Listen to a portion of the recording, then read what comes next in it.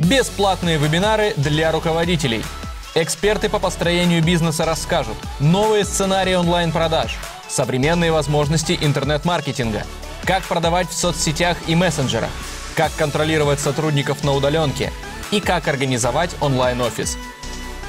Делайте бизнес прибыльным для себя и надежным для своего клиента.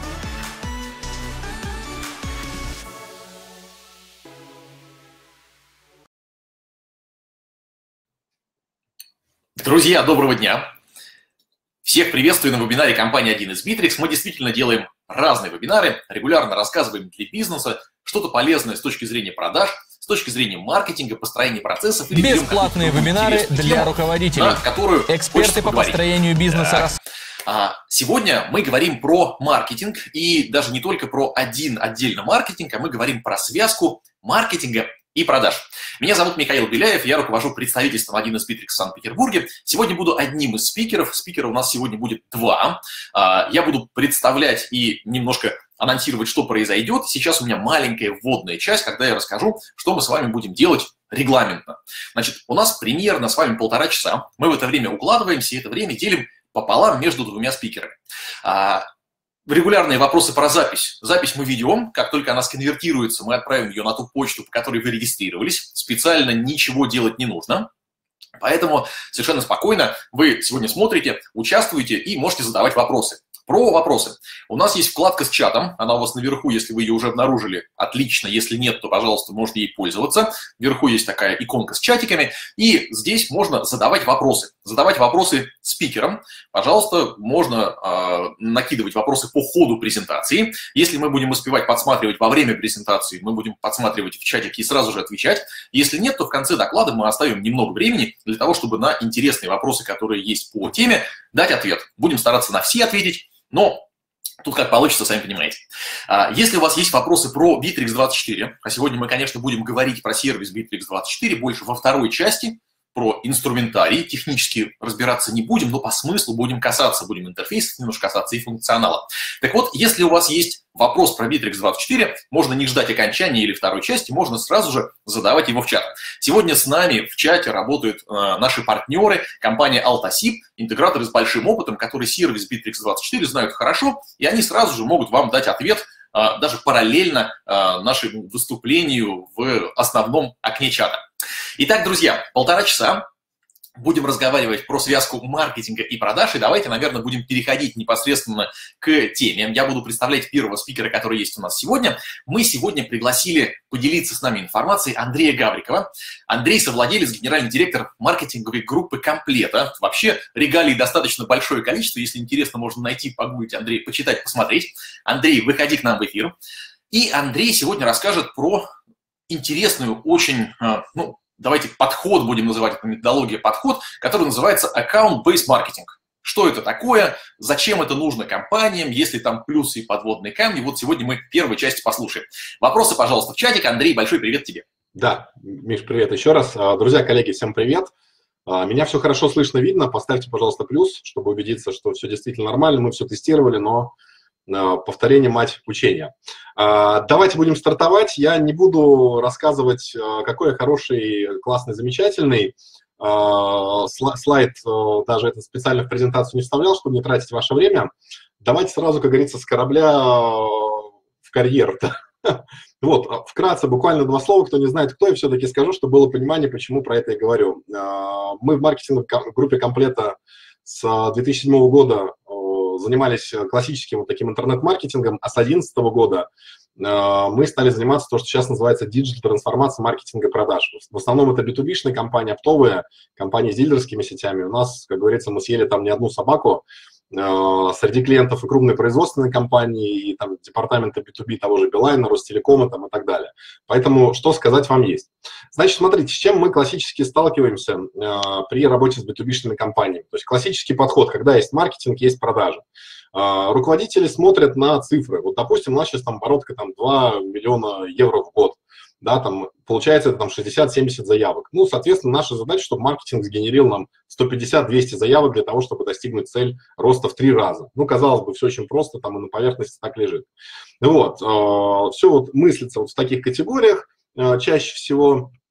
А, и мы сталкиваемся здесь всегда с одной и той же проблемой, когда вот такая логика здесь присутствует. А, маркетологи начинают носиться в поисках новых клиентов, они начинают искать все возможные способы лидогенерации. А, просто вот откуда хотелось бы получить лиды там и так далее. И зачастую тратится огромное количество усилий, ресурсов, временных, денежных, людских, вот, для того, чтобы сгенерить какие-то лиды, как-то отдать их в отдел продаж, и там уже продажники, мол, сами разберутся с тем, что это есть. Вот, и маркетологи э, смотрят на свои заслуги, на свои достижения, думают, блин, смотрите, сколько у нас следов, а, какое количество, какая стоимость, там, как мы их замечательно сгенерили, как все хорошо, прямо круто, супер-пупер. А в отделе продаж э, смотрят, блин, а что за неквалифицированные лиды? Почему клиенты вообще спрашивают не тот продукт, который у нас есть? А, почему клиенты пропадают? Почему клиенты не отслеживают, не открывают наши коммерческие предложения? А, непонятная история. И начинается вот эта вот война, да, классика жанра, когда маркетологи кричат, что вы дурачки там в своих продажах ничего не разбираетесь, э, те в ответ то же самое говорят про маркетинг, и происходит бардак. Вот, а потом руководство начинает изобретать что-нибудь такое, давайте сейчас срочно там зальем все маркетинговым бюджетом, рекламным, э, там сменим весь отдел продаж, они не справляются, у нас ведь у нас же куча лидов там вроде как есть. Вот происход, происходят вот такие вот мыслительные процессы. Это классический старый подход, который есть вот для B2B, который используется. То есть у нас есть отдельно маркетинг, то есть он генерит какой-то лид, и передается в продажу. Продажи должны закрыть. А, в чем минусы для B2B-шных компаний а, и вот сложный продукт, даже в B2C тоже есть сложные продукты, в чем сложность с этим? Да, то есть противостояние между маркетингом и продажем, цель маркетинга на лиды, а не на продажи. Лиды эти зачастую бывают некачественные, главное количество.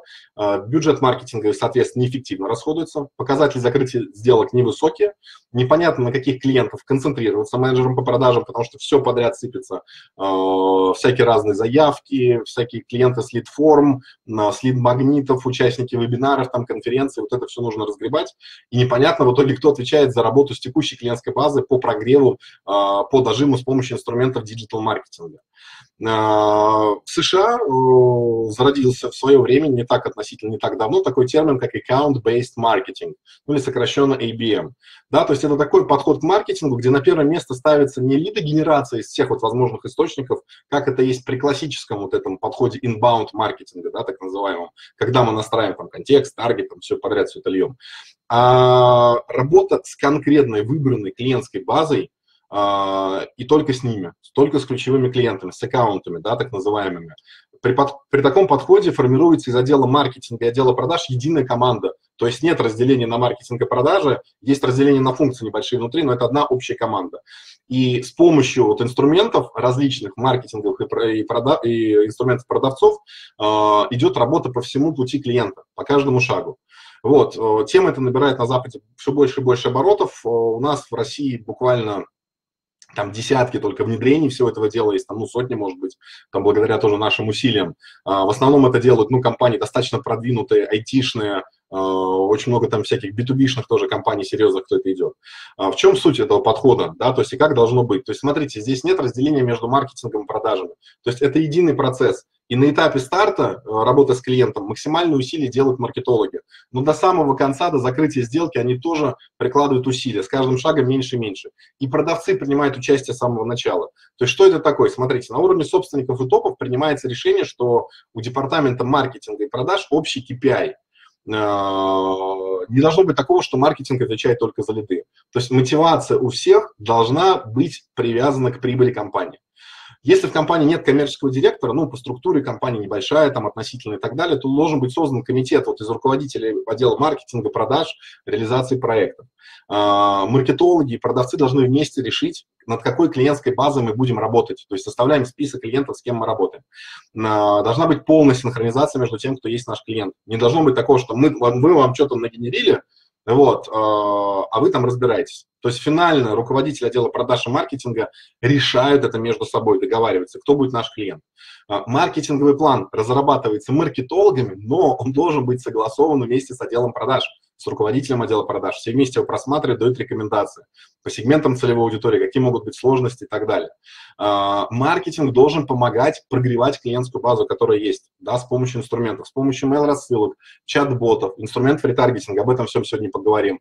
А, продукт упаковывать нужно конкретно под каждый под каждого там клиента или под каждый микросегмент, раз, различные полезные сервисы использовать, опять же, да, там вот мы в свое время там разработали тоже пачку сервисов, там, электронные коммерческие предложения, чат-боты, мотивирующие продавцов там и так далее. А, и должны проводиться еженедельные планерки между маркетингом и продажем, где проходится прямо по каждому лиду и обсуждается, как он сдвинулся, что произошло с клиентом, какие были касания, был ли на вебинаре человек, смотрел ли коммерческое предложение, видел ли наши баннеры, смотрел ли какие-то страницы, да, то есть продавцы должны буквально прямо отчитываться э, за каждый лид, что с ним происходит э, и какая нужна помощь. Э, возникает вопрос, звучит как-то странно, э, совершенно непонятно, в классическом формате сложно и, собственно говоря, вопрос интимного характера, да, что нам это даст, как, какие профиты для компании, для бизнеса. Э, все очень просто, смотрите, мы фокусируем не на качестве клиентов, точнее на качестве клиентов, а не на их количестве. А, мы инвестируем деньги в клиентов, у которых э, потенциально большая конверсия, то есть те клиентов, которых э, гораздо проще нам конвертировать в деньги. Выше роме, возврат маркетинговых инвестиций. А, маркетинг занимается глобально не лидогенерацией, а комплексным сопровождением сделок. То есть база у нас фактически есть уже, и мы помогаем эту базу развивать, да, эту базу. А, персонализированно выбираем инструменты под клиента, а не всех под одну гребенку мы там косим там контекстной рекламы условно. А, с точки зрения клиентов, клиент видит, что у нас персональный к нему подход, он более лоялен, он воспринимает нас как партнеров и готов идти на гораздо большие чеки. Клиенты становятся фанатами бренда, и глобально клиенты готовы дальше больше нам платить, с нами работать здесь при таком подходе. То есть они чувствуют вот эту персональную всю историю.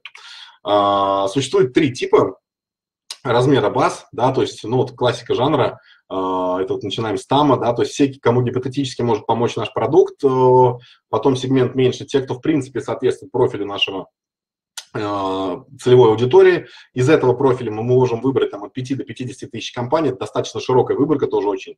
Э, тех, кого мы можем массовыми инструментами э, отлавливать с помощью контекста, таргетинга там, и так далее. Средний охват от 50 до 5 тысяч компаний – это те, кто уже у нас могут быть в базе и с кем мы работаем, непосредственно развиваем. И узкий охват – это прямо самые золотые дорогие клиенты, на, на которых мы максимум ресурсов тратим. Да? То есть есть ну, глобально три подхода, как э, косить э, целевую аудиторию.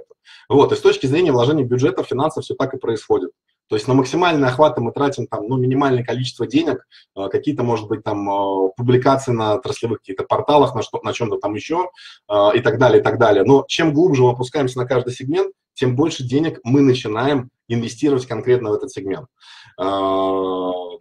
Значит, смотрите, алгоритм внедрения. Давайте сразу по нему пойдем. Я эти пункты зачитывать не буду, потому что мы сейчас по ним прям проскочим с вами. Времени не так много, хочется максимально пользы инструментов сейчас тоже вам рассказать. А, значит, смотрите. А, первый момент. Компания идеологически должна для этого созреть. Ну, не бывает такого, что приходит директор а, и говорит, давайте внедрим ABM.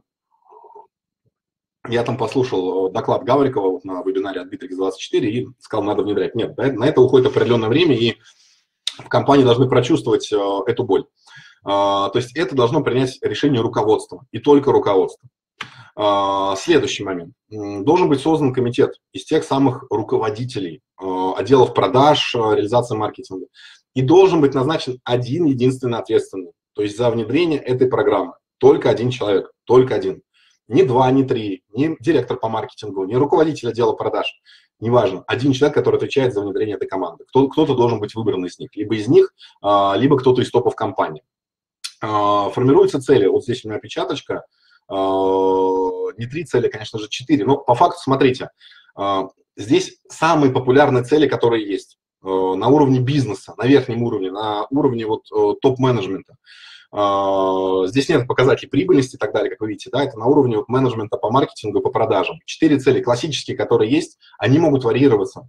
Вот, но чаще всего мы проверяем KPI по количеству сделок, а, процент конверсии сделки от тех лидов, которые к нам приходят, а, средний чек, который генерится, и длительность сделки по времени закрытия. Да, то есть это те показатели, на которые мы можем с вами влиять. То есть мы можем влиять с вами на количество сделок, на процент конверсии, повышать его, работать над этим, э, повышать средний чек и ускорять процесс сделки самой. Фиксируем текущие показатели, которые у нас есть по этим параметрам, и выставляем цели, то, к чему мы хотим прийти, ну, исходя из финансов. Я сейчас не буду погружаться в теорию целеполагания, обратной декомпозиции целей на задачи по задаче. Давайте, э, я думаю, вы сами справитесь. Следующий момент. Формируем с вами портрет идеального клиента. По каким критериям, по сегментам, опять же, классическая сегментация целевой аудитории, формируем э, сегменты, потом начинаем углублять на конкретно разных представителей компании, кто это должен быть, чем этот человек интересуется, что ему нужно э, с точки зрения бизнеса от нашей компании. То есть вот как в классическом подходе мы это формируем. Но э, дальше наступает другой момент, который отличает, отличается от классического маркетингового подхода. Мы начинаем составлять конкретную клиентскую базу. То есть не просто мы насегментировали, как обычно, и запускаем таргетинг, контекст, холодные прозвоны, там, погнали вперед. Нет. Мы начинаем формировать клиентскую базу. Еще раз я повторюсь, это важный ключевой момент. У базы один хозяин, один человек. Не должно быть киданий, там, вы в продажах за нее отвечаете, там, или вы в маркетинге. Выбрали одного главного за этот проект, за внедрение аккаунт-бейс маркетинга, пилотного проекта, да, на ограниченном количестве клиентов. Он отвечает за нее. А, значит, составляем базу. Наша задача здесь, сейчас собрать а, базу э, сырую с потенциальными клиентами, с кем мы можем работать. Для пилотного запуска, вот так, чтобы потестировать, посмотреть, как это зайдет или нет, среднестатистически, опять же, это зависит от огромного количества факторов, но среднестатистически обычно формируется база в 300-500 контактов, а, которые потом сокращаются там, до 50-100, когда мы их прощупали, уже обогатили данные, сейчас об этом поговорим. И уже прямо плотно дожимаем вот эти вот там 50-100 контактов. Если у вас достаточно широкая отрасль, да, то есть вот если вы занимаетесь там внедрением, например, Bittrex24 в интеграторы, слушайте, ну, там, у вас база это может быть не 300-500 контактов, а вот вы выбрали те отрасли, в которых у вас есть крутые кейсы там, по автоматизации и так далее. И будет там 3-5 тысяч компаний, но все равно должен быть список этих компаний, и вы дальше с ними будете работать по тому алгоритму, по которому я сейчас тоже скажу. А, дальше у нас что с вами происходит? Так, секунду. Вот, где мы, соответственно, можем с вами эту клиентскую базу составлять, какие источники есть. Да, сейчас вот э, рекомендую э, записывать куда-нибудь это отдельно, вот, ну, хотя презентация будет, но в голове лучше тоже эти источники сохранить. Значит, смотрите, ассоциации и гильдии, да, различные. Участники э, Алексей, я вот как раз сейчас отвечаю да, на ваш вопрос. Вот. Это может быть имеющаяся база, могут быть источники, которые мы собираем. Вот. Э, то есть мы составили профиль идеального клиента, то есть те компании, например, те отрасли, где у нас есть уже кейсы. Это самый простой вариант для захода всегда, самый простой. То есть то, что вы можете уже показать э, и показать, сыграть на истории, смотрите, а у ваших конкурентов уже такое есть. Значит, ассоциации гильдии различные, да, то есть там, где есть э, компании. Отраслевые рейтинги это могут вот у нас в диджитале, да, там есть отраслевые рейтинги, Tagline, reward, аналогичное. Там есть рейтинги застройщиков, есть рейтинги системных интеграторов. Не везде это есть, но тоже есть, там тоже может быть ваши потенциальные клиенты. Отраслевые какие-то порталы, где есть э, каталоги компаний э, там, и так далее. В свое время мы искали клиентов себе для нашего проекта по IBM, компанию, которая в дилерской сети есть, вот на сайте, по-моему, вашдом.ру, если не ошибаюсь, это сайт, мы нашли, а, да, ваш мы нашли такой раздел «Ищем дилеров», компании-производители, там, десятки компаний ищут дилеров, наша клиентская аудитория 100%. Spark и аналогичные сервисы, по которым мы можем делать выгрузки по компаниям. А, каталоги компаний классические, да, там 2GIS э, и прочее, прочее, прочее. Есть так называемые умные каталоги компаний, типа Bindix, которые агрегируют данные с разных источников, по разным параметрам нам могут выдать, выдать данные. Ну, вот, например, там, а, по Москве производство кофе чая а, там, выдало 18 компаний, которые есть. Результаты выдачи поисковых систем. Ну, ясно, просто понятно. Ввели основные ключевые запросы, по которым продвигаются ваши потенциальные клиенты, составили список тоже из, из этих сайтов. Товарный агрегатор агрегаторы, а, опять же, товары и услуги, э, прочие маркетплейсы, которые есть, э, там тоже могут быть ваши клиенты. Участники выставок и конференций, классика жанра, да, то есть вот если ваши клиенты там выступают с какой-то одной тематикой отрасли, смотрим вместе, кто там выступает. Я на прошлой, получается, неделе, да, на прошлой, был тоже вот на конференции, первой в офлайне как раз-таки э, выступал с, наш, с нашими кейсами в тематике оконной, строительных материалов как раз-таки вот так пришел, взял каталог участников, сфотографировал, отправил его в отдел продаж а, и маркетинга наш, сказал, ребята, действуйте, а, вот вам для пополнения клиентской базы. То есть те люди, у которых после кризиса есть деньги, быть на выставках и конференциях. Это могут быть отраслевые различные исследования с участниками, да, кто принимал участие. Это могут быть публикации на отраслевых ресурсах, да, то есть мы смотрим на тех ресурсах, где тусуются ваши клиенты, кто из них достаточно активен, кто делает какие-то публикации, какую-то экспертизу несет свою, рассказывать там и так далее. А, это могут быть рекомендации от сервиса SimilarWeb, да, то есть это сервис по анализу конкурентов, вы вводите сайт одного из своих клиентов, э, к примеру, unitex.ru, допустим, мы ищем клиентов интернет-магазина мебели, и вот он нам рекомендует competitors and similar sites, да, то есть конкуренты и похожие сайты. Есть другой сервис, SpyWords, есть сервис KSO, это по поисковому маркетингу, они тоже показывают, кто является конкурентами конкретного домена по пересечению поисковых фраз, объявлений в контекстной рекламе там, и так далее. Это был первый способ, да, то есть, ну, то есть, что мы делаем? Мы с вами набираем базу. Опять же, у вас могут быть другие источники, я вот назвал сейчас наиболее популярные, которые есть. Дальше мы начинаем из этой вот холодной базы сырой добывать руду, полезные, полезные данные, обогащать ее. Да, то есть нам нужно понять контакт именно вот этих ЛПРов внутри этих компаний. Где-то это бывает прямо на сайте, слушайте, реально это бывает прямо на сайте. Где-то есть дополнительные всякие хитрости и фишечки. Вот, например, есть такой сервис, как Hunter.io, вводим домен компании. В данном случае я взял э, домен коллег ingate.ru. Этот сервис анализирует в интернете, сопоставляет контакты имейлов, которые в открытом доступе где-то оказались. 82 человека. Вот, например, Дима Орлов, тоже мой коллега, а, маркетолог и спикер с компании Ingate. Вот есть его имя, есть его фамилия, есть его электронная почта. Александр Григорьев, Анна Макарова некая. То есть э, сервис позволяет найти контакты уже с людьми в этих компаниях.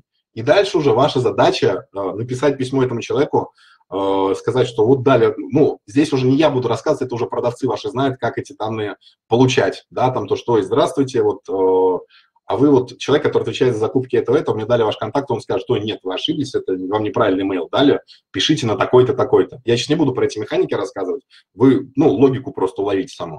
Э, похожий сервис applit.com тоже вот вел, например, там, меня интересует Андрей Гавриков, который в компании Комплета работает. Вот он находит мой контакт, а, собственно говоря, а, компания маркетинг группа комплета, вот мой email даже, личный, рабочий точнее есть, да. А, Rocket э, Rich, та же самая история, та же логика. То есть вы смотрите в этих сервисах, Hunter.io самый крутой, самый навороченный из них, на мой взгляд, но тоже можно пробовать через них. Надо понимать, что сервисы для забугорья придуманы. У нас они работают через раз, через раз но может вам повести, что вы эти данные все найдете.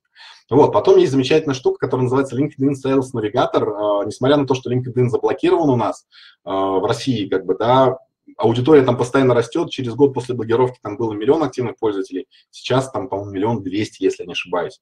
Есть такая штука, как Sales Navigator, ссылка в презентации есть, как, это, как его подключить, эту историю, да, то есть это, по сути, специальная платформа внутри, которая позволяет вам хранить переписку с людьми, ну, такая не до CRM, условно, то есть делать рассылки по ним, запускать рекламу, то есть вы сами набираете там сырую аудиторию, работайте с ней, как, какие есть механики в LinkedIn, и потом уже перекидывайте ее в полноценную CRM-систему типа Bittrex24 и дальше уже прогревайте остальными инструментами. То есть здесь первичка идет для сбора вот этих потенциальных контактов и обогащения. То есть мы можем узнать должности человека, его, там, а, что он пишет, там, когда пишет, где бывает и так далее. То есть все, что нам нужно про это. А, просто социальные сети, анализ обычных социальных сетей, не обязательно LinkedIn, да, то есть есть такие сервисы, как вот IQBus, например, да, то есть можем по фамилии, по имени, по компаниям поискать, какие есть упоминания, где вообще что, в принципе, про компанию говорится.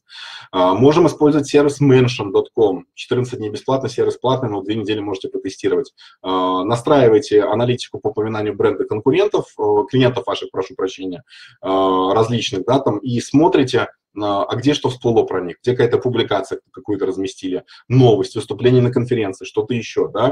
То есть в идеале, когда у вас будет настроено все на вашу клиентскую базу, вы это будете находить. Но это платный сервис. А, в индексе поисковых систем, прямо по запросам конкурен... Э, клиентов наших, мы вводим название клиента и смотрим информацию, что там есть. Вот, например, прочитали, что там Крок создал для стадиона внешний периметр безопасности с билетно-пропускной системой и так далее круто, да, получили зацепку, информацию, пошли в LinkedIn, там IT-директору их написали что-то, что нужно, круто, поздравляю, такой кейс, э, прямо класс там, да, там, ну, Здесь, опять же, много механики есть по работе, про прогреву. Сейчас вот не, не про это, мне про структуру вам рассказать. А, дальше. Бесплатный сервис, которым я пользуюсь, сам Google Alerts. Да, бесплатный сервис, список фраз, по которым мы отыскиваем всю информацию, по конкурентам будь то, или по потенциальным клиентам, неважно. Если в индексе поисковой системы Google появляется новая страница с ключевыми словами, которые вы ввели, то вам приходит уведомление. Вот мне пришло уведомление, что там по запросу Андрей Гавриков появилась э, новая страница в индексе, там, от сайта rb.ru и Forbes, там какие-то комментарии я давал. Э, все, и мы следим, опять же, то есть, что происходит с нашими клиентами, с их брендами, да, как, какой новостной фон, э, какие данные, что мы из этого можем выудить потом дальше для нашего маркетинга и продаж. Упоминание в новостях от Яндекса, от э, сотрудников, э, отзывы от сотрудников, анализ профиля в социальных сетях, конечно же, лезем полностью, там очень много полезной, нужной информации про клиентов есть. Э, дальше, готовим офер, да, то есть конкретное предложение под конкретного клиента или под небольшой кластер клиентов мы готовим. А, то есть общий УТП может быть под продукт. Вот, например, у нас есть авиасани с легким управлением, отапливаемый кабинами, мягкий ход, бла-бла-бла. А есть сегмент, э, собственно говоря, рыболовов. Да? То есть рыбалка в любое время года, небольшой расход топлива легко ремонтируется. А, природоохранная организация, скорость до 140 км в час, переход с воды на лед, а, полицейский разворот есть. То есть и здесь также мы не общий УТП офер готовим, а либо под конкретную компанию, либо под конкретный сегмент. Под членов закупочного комитета мы эти оферы простраиваем. То есть что нужно генеральному директору, финансовому директору, коммерческому директору, да, то есть вот это очень плотная работа идет индивидуально, но она у нас, соответственно, окупается. А, дальше что мы с вами делаем? А, дальше мы с вами, соответственно, запускаем наш маркетинг, готовим. То есть наша задача здесь затянуть нашего вот этого клиента из базы в цифровую воронку. А, то есть что мы здесь делаем? Готовим сайт, там разделы под конкретно сегмента целевой аудитории. Здесь вот пример с этими аэросанями. А, здесь пример у нас комплета чисто для производителей, поставщиков, отдельный landing page. А, здесь пример нашего клиента компании Альтопрофиль, страницы для поиска дилеров и партнеров. То есть мы готовим конкретные те страницы, куда будем эту аудиторию тоже подключать. Готовим рекламу. То есть есть у нас список там из э, компаний потенциальных клиентов. Расставляем геоточки в различных системах рекламы. В данном случае, например, ВКонтакте, в Яндексе, в Гугле, в Фейсбуке, везде в современных системах ведения рекламы есть возможность по адресам запускать рекламу. Готовим креативы да, конкретное. Там, это вот пример кейс, как мы бегали за нашим уже существующим клиентом, еще древний кейс, логотип наш старый, а, когда владелец компании не мог все выйти с нами на связь, крупная компания, там 5 заводов, а, мы запустили таргетированную рекламу по его номеру телефона, а, на его офисы, на его заводы, в итоге он вышел с нами на связь, нашел время, пообщался, спланировали работу на следующий год. Это вот точечная работа на одного человека была. А, дальше. Готовим письма под конкретные сегменты целевой аудитории, под конкретных людей. Индивидуально тоже готовим это все дело. А, готовим контент, какие-то полезные исследования, какую-то полезную дополнительную информацию. Готовим ивенты, вебинары, а, прочую всю историю, на которую мы будем этих людей приглашать. Вот. Дальше. Этап э, сопровождения и удержания клиентов их развития. То есть наша задача довести клиента уже до продажи, не пережечь его, не становиться назойливыми. И в идеале, чтобы было так, что клиент подумал, что он сам нас выбрал. То есть здесь, само собой, CRM-система, ведем конкретно каждого клиента, смотрим касание, используем вот воронки продаж автоматически, которые в Bittrex тоже есть, когда запускаем Facebook, когда смс отправляем, когда email какое-то письмо, а, отслеживаем открытие коммерческих писем, а, коммерческих предложений, писем. А, можно там более сложные там использовать всякие штуки, там типа ESWare, плагины для браузеров и почтовых клиентов, которые это отслеживают, или еще более навороченные, там типа нашего сервиса Sales Pilot, который позволяет отправлять клиенту коммерческое предложение в виде посадочной страницы, смотреть, что он там на ней смотрел, что не смотрел, и после того, как уже происходит контакт, да, соответственно, или клиент не посмотрел, уже исходя из этого строится сценарий продаж. Uh, использовать сервисы типа Celery, которые позволяют проводить презентации продукта клиенту. То есть клиент видит uh, на своем мониторе одну презентацию, менеджер по продажам видит другую презентацию, у него дополнительные блоки. А что здесь рассказать? Ой, а вот у нас, кстати, был случай. Вот такой вот у нас был кейс интересный, смотрите, так и так. Хотя на презентажке этого нет, и клиент думает, что он прямо из головы это вспомнил. А, и так далее. Вот, специальные боты для пинания продавцов, чтобы напоминать им, что делать, как делать. Типа вот тоже сервис мы сделали все время salesline.ru, а, который говорит, сколько тебе осталось звонков, а, сколько тебе денег для выполнения плана. То есть такой мотиватор отдела продаж. Вот, следующий важный момент – аналитика. Три уровня измерения у нас здесь есть. На уровне бизнеса, на уровне показателей маркетинга, на уровне рекламных кампаний и прочих метрик. На уровне бизнеса четыре вот тех э, конверсии основные. Количество сделок, процент конверсии сделки, средний чек, длительность сделки на, на уровне топов. Э, на уровне маркетинга данные по воронке продаж, все, которые есть конверсии перехода, жизненный цикл клиента, стоимость за целевой лид, account penetration, то есть что значит этот термин? Это а, вот клиент закупает IT-услуги, а мы предо... на, на миллион рублей в месяц, а мы предоставляем ему на, э, не знаю, там, на 50 тысяч рублей в месяц. То есть мы понимаем, что у клиента бюджет большой есть на эту категорию, а мы всего лишь там копеечку какую-то получаем. То есть нужно думать, как вот делать уж, прости господи, вот эту самую пенетрацию в бюджет клиента. активности клиентов из базы, да, то есть вот э, что они сделали, что они посмотрели, что изучили.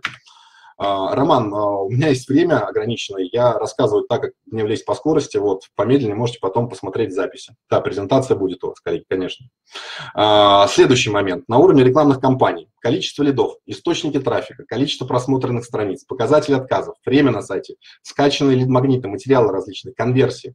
Да, то есть вот смотрите, все у нас раскладывается на несколько уровней. Все логично, все четко, все конкретно. А, может быть простая отчетность, опять же, да, там у нас а, в CRM-системе ведется данные по воронке продаж, а, там используем там дополнительные какие-нибудь модули там, по сквозной аналитике, может быть просто смотрим данные системы веб-аналитики. Ну вот, а может быть что-то сложное, да, то есть может быть что-то сложное, навороченное, там вот как у одного из наших клиентов, где огромное количество источников, там и 1С, и Carrot Quest, и Bittrex 24, там и куча-куча-куча-куча-куча всего. Вот, и все это это уже выводим с помощью сложных всяких разных систем бизнес intelligence, типа Microsoft Power BI там, и так далее. Но это отдельная моя любовь, уже аналитика, это тоже не будем погружаться. Давайте, вот у нас осталось 6 минут буквально. Несколько кейсов наших, да, расскажу практику, чтобы просто это понимали, как это происходит.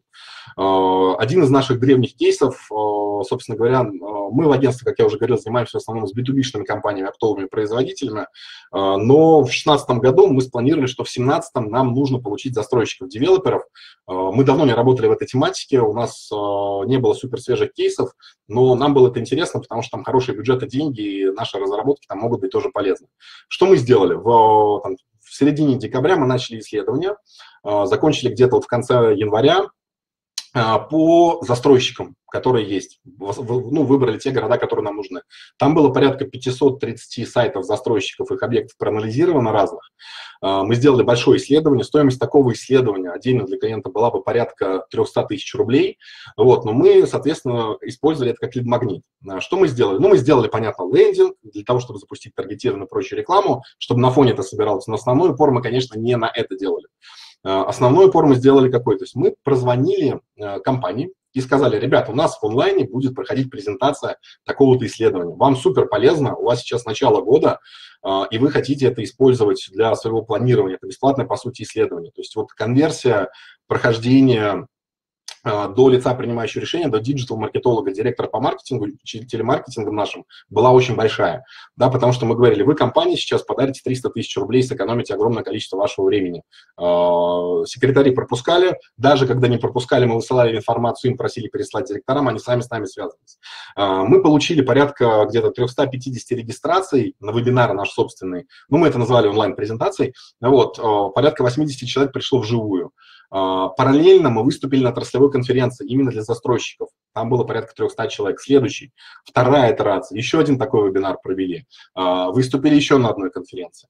А, в течение, собственно говоря, года у нас эта вся история происходила, и уже в декабре когда у нас уже была эта собранная база, уже сильно прогретая была хорошо, у нас параллель шло по нескольким направлениям, не только по застройщикам.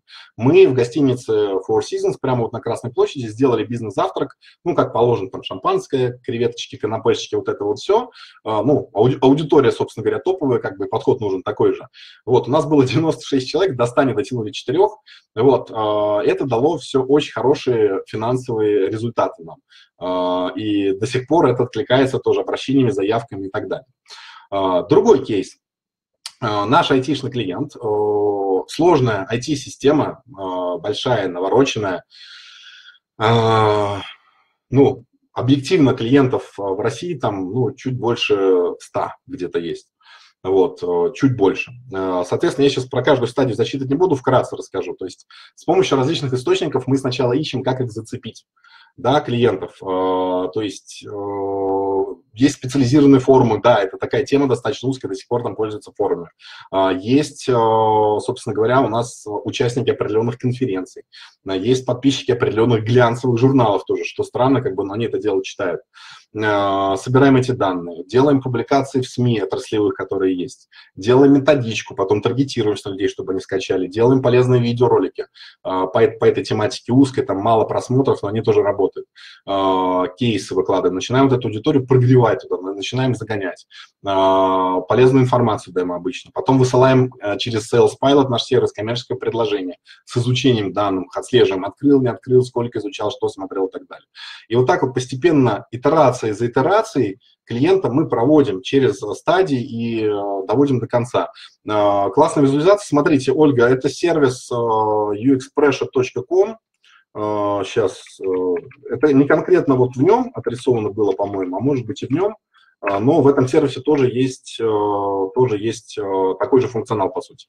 Вот, и мы это дело доводим. Сложный айтишный продукт, реально повторюсь, то есть мы своим маркетингом для этой компании делаем одну-две продажи в год, но там договор на 2 миллиона долларов там и выше. Вот. Поэтому, поэтому все усилия окупаются. То есть это узкий такой айтишный продукт. А, и последний кейсик наш, собственно говоря, сам ручками это делал, а, еще в то время. А, значит, в 2015 году мы сделали лучший сайт в строительной тематике по дверям. Компания Torex, наш клиент, мы с ними работаем с 2013 года до сих пор. У нас вообще клиенты, многие, которые к нам приходят, вот в этом году 10 лет, как мы работаем с компанией Альтопрофиль. Будет. В 2011 году мы с ними начинали. Ну ладно, не суть. Значит, мы сделали самый крутой сайт в строительной тематике и по трафику, и по всем показателям, и по визуалу, по всем вещам на тот момент. Значит, что, мы, что я сделал? Я взял, составил базу по производителям межкомнатных дверей, потому что мы не можем работать с дверниками по железным дверкам, только теми, кто межкомнатку продает. Соответственно, составили эту базу те, кто есть вот в Москве, в ближайшем Подмосковье, либо представители, либо сами вот головные офисы. Вот, что, что, что у нас пошло в пакет? Значит, маленький буклетик, там буквально там на 5 э, листочков, э, это вот складывается небольшой, вот он такой, размером с ладошку, это вот пол А4 листа, где кейс э, Торекса был подробный, отдельно персональное обращение по имени, отчеству к представителю компании, то есть мы также собрали все данные, фамилии, имя, отчество, должность, что им интересно. Вот, э, все это на крафтовой красивой бумаге, в крафтовом конверте э, было. Дальше, э, на Алиэкспрессе я заказал, нам привезли наборы такие для Darts, вот такие вот коробочки, в них тяжелые дротики, полупрофессиональные.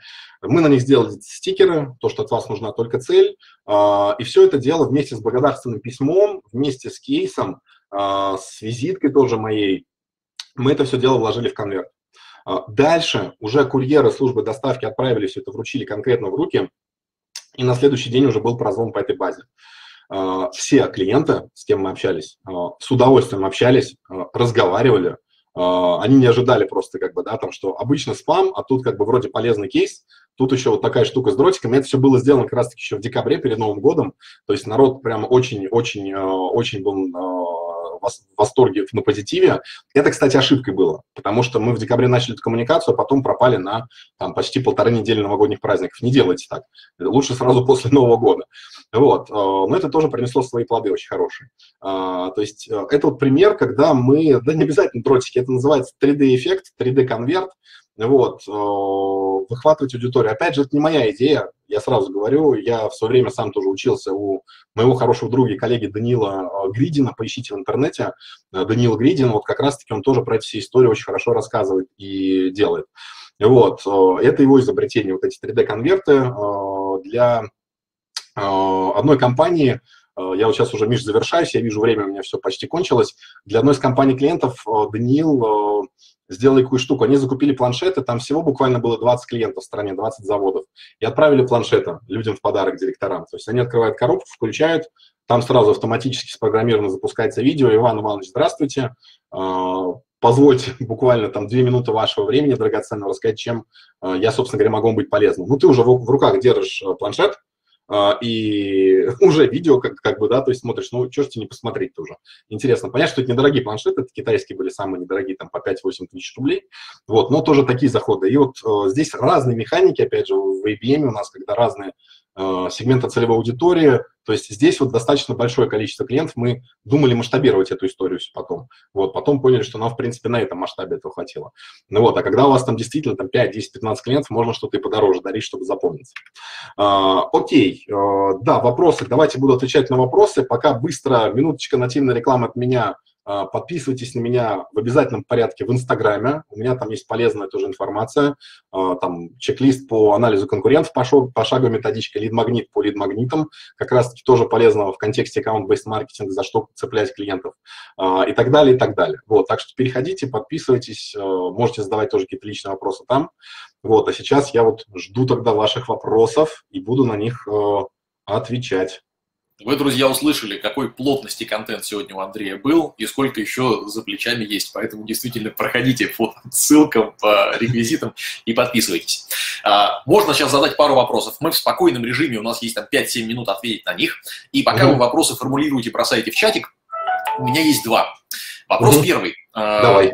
Создается ощущение, что вот аккаунт based, он для крупных чеков, для больших э, сделок – и для массового сегмента ну, не подходит, потому что ты выбираешь клиента, много с ним работаешь. Вот примеры с э, классными э, письмами, цепочками или там, креветками этими. Да. он, ну, для больших, правда. Если место аккаунт-based в э, ну, маленьком сегменте с небольшими чеками. Слушай, конечно, есть. Э, здесь мы обойдемся, понятно, без креветок, вот, дротиков и планшетов. А, здесь мы будем работать... Сейчас э, я тут по-быстрому, если пропущу. Вот он, вот-вот-вот было. То есть здесь мы будем работать с вами на уровне, вот, э, допустим, широкого охвата да, там, вот мы выберем там 10, 20, 30 тысяч наших потенциальных компаний клиентов, какие-то определенные отрасли, и будем их прогревать таргетированной рекламой, лид-магнитами, вебинарами. А, то есть мы в своем агентстве также идем, по большому счету. То есть мы работаем там на широкий охват, глобально, да, то есть вот общепринятые инструменты inbound маркетинга. Вот, но когда мы находим какие-то конкретные ниши, узкие, глубокие, вот как с примерами я сейчас был, мы отдельно идем в них и их отдельно прорабатываем. Вот, поэтому здесь проблем нет. Причем такой подход, он э, применим же для B2C тоже. То есть, ну вот вы, допустим, продаете квартиры какие-нибудь условно, или какую-нибудь дорогую там технику, что-то еще, я там не знаю, какие-то дорогие услуги. Вот тут в комментах нефтепродукты. Значит, да, да, да. продажи нефтепродуктов. Зацепили клиентов, и также их дальше можно греть. Так, э, вопрос вижу, да, от Ольги. Как найти клиентов в интернете очень сложно B2B оптовой продажи нефтепродуктов? Ольга, смотрите, а в интернете не надо их искать. Вам нужно выстроить цифровую воронку, как в примерах я показал, с программой, с полезным контентом, с чем-то еще, а выходить на них через офлайн. Вы выходите через офлайн, вы отправляете им какую-нибудь полезную презентацию или коммерческое предложение, вот там, на, там, опять же, в очередной раз нас прорекламируем, что есть так есть, сервис salespilot.ru, и клиент уже попадает в цифровую воронку, наставляет цифровой след, и вы можете его уже ретаргетингом, имейлом, рассылками дополнительными, чат-ботами и так далее прогревать. Только вопрос в том, что ну, такая аудитория, как нефтепродукты, там, конечно, чат-боты не покатят, как для там, продажи онлайн-курсов. Там это очень редкая коммуникация, и она персонализированная должна быть. То есть здесь все равно упор уже больше будет идти на менеджеров по продажам, но мы, как маркетологи, предоставим все эти инструменты, поможем им и обучим, как действовать с этим. Так, хорошо. Сложный вопрос про госклиентов, которым нельзя подарки, э, там, по закону прямо. Угу. Что можно делать? Можно ли контентом выходить? Контент, конечно, да, лид-магнит и контент, сто процентов. Все верно, Елена. А, смотрите, пропустили вопрос от Артема. Спасибо за полезную информацию. Что начать для привлечения клиентов B2B для типографии? А, ну, смотрите, в B2B, в типографии это вообще все просто. То есть вам дротики не нужно рассылать. У вас уже есть примеры, образцы того, что вы делали, кейса. Опять же, берите те компании, с кем, э, с кем вы уже работали, кто вам уже доверил э, э, свою продукцию, свою полиграфию, вот эту всю, и идите к их конкурентам. Но объективно. Как бы это, самый простой всегда вариант, самый простой заход, который есть. Угу. То же самое про таможенное оформление. В таможенном оформлении в B2B. Слушайте, вот ну, глобально, вот вы задаете, смотрите, одни и те же вопросы сейчас, ребят. Да. Здесь два захода. Первый, если это узкий совсем сегмент, если вот типа нефтянки там и так далее, то мы через офлайн закидываем воронку. А, если это более широкий сегмент, типа таможенного оформления, мы можем закидывать как с офлайна, так и с онлайна. Та же таргетированная реклама, контекстная, а, другие механики привлечения. То есть наша задача затянуть человека всеми правдами и неправдами в цифровую воронку прогрева, а потом уже дожимать их там. Вот, а, инструменты разные используются. Угу. Так, еще вопрос от меня. Ты вначале говорил, что для того, чтобы перейти с классического inbound маркетинга на вот новые рельсы, нужно созреть внутри. Конечно. Вот что это, за, что это за созревание такое, как к этому нужно подходить, где щелчок, и нужно ли отказаться вот при переходе от inbound полностью и перейти случае. на... Никаких, вот, вот, вот это вообще нельзя делать, никаких полностью отказываний. Значит, смотрите, аккаунт-based маркетинг, может еще не прижиться в компании. Вот, э, то есть нужен пилотный проект, так называемый, на который выделяются ограниченные ресурсы, э, выделяется команда, э, там, условно говоря, там один-два сейлза, один маркетолог, который этими вещами занимается, вот они полностью там эту историю отрабатывают там за 3-4 месяца и смотрят, полетело или не полетело. Вот, от инбаунда ни в коем случае отказываться не надо. Когда вот этот момент переключения наступает, когда в компании поняли, что это нужно, слушай, ну, когда вот то, что я в самом начале рассказывал, начинает часто происходить, что маркетологи винят продавцов, продавцы маркетологов, э, чек на маркетинг растет, затраты на продажи растут, а прибыль компании не растет. Да, то есть здесь приходит понимание того, что нужно что-то более персонализированное делать да, какой-то вот такой... Как кажется, что это картинка из большинства бизнесов, где есть отдельно маркетолог и отдельно продавец, даже если по одному человеку в каждом подразделении. Да, да, да, все верно, все верно. То есть это, это очень важный момент. Ну, даже если у вас не ABM, слушайте, блин, да устраивайте вы пятиминутные летучки по итогам дня 5-10 минут между маркетингом и продажем, что продавцы давали обратку по лидам, какие пришли, как что, какие сложности есть, и нормальную полноценную планерку все равно раз в неделю делать. То есть должен быть стык, надо понимать друг друга.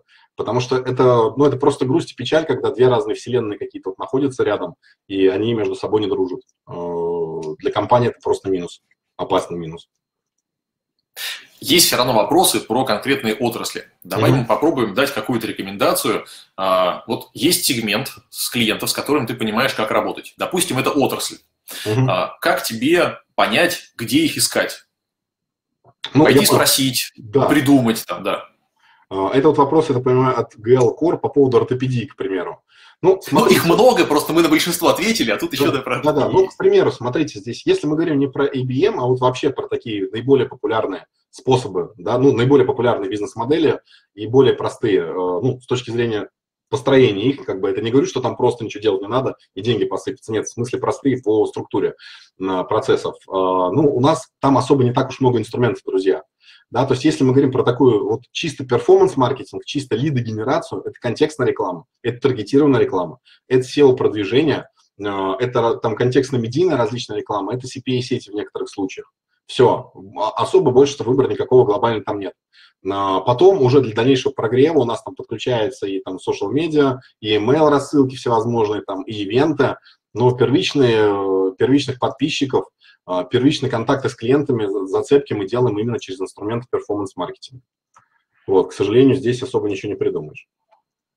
Ну, из рекомендаций, вот из кейсов Андрея, если есть классный контент, который цепляет. Ну, то есть, если вы просто выходите «купите у меня», то таких объявлений много, среди них можно потеряться.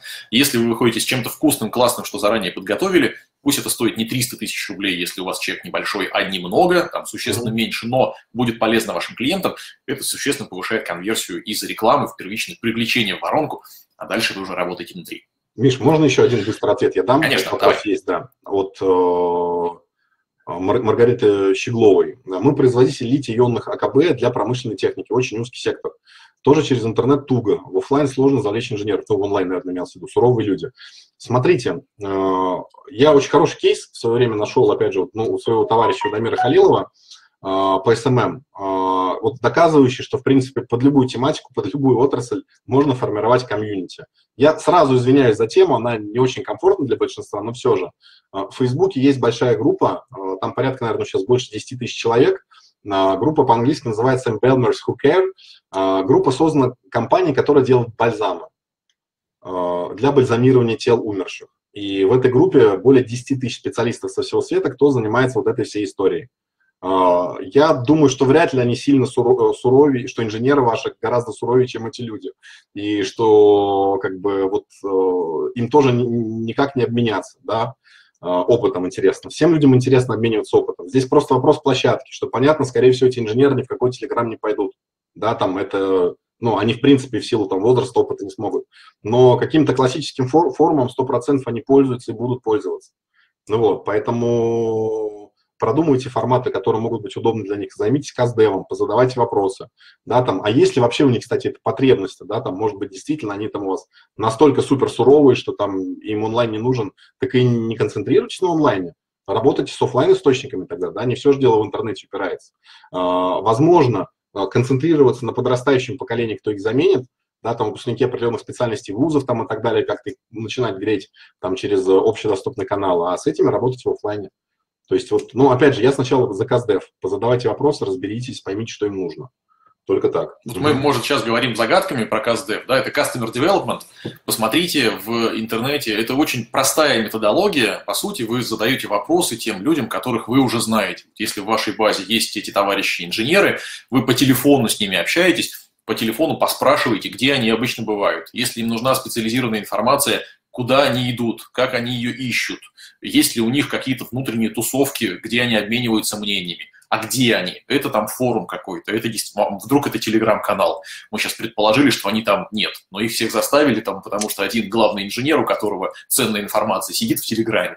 Им пришлось поставить к себе, да, и они там. То есть позадавайте эти вопросы, много интересных инсайтов, таких ответов вы получите, и куда можно будет направить свои усилия, где можно эту площадку будет создать. Да, все. Опять же, одна из механик, вот тоже вам, то, что мы используем периодически, да, там для вас может быть полезно. Если там на вебинар они не идут, а идут на какие-то офлайн мероприятия, ну, слушайте, ну, вы сделайте к этому офлайн мероприятию какой-то там свой чатик э, в каком-нибудь там WhatsApp, да, там наиболее популярном какой-то сети, вот, э, или форум какой-то закрытый, что-то, ну, чтобы все равно было понятно и простое для них. Ну, вот, и, ну, там коммуницируйте, там общайтесь уже, собирайте эту базу. Ну, вот, э, постепенно. То есть первично проводим ивент, формируем первичное количество участников – потом это комьюнити начинаем, начинаем развивать. Но это надо понимать, это вопрос ресурсов в то же времени, вы должны давать крутой контент туда. И модерировать как бы не так просто.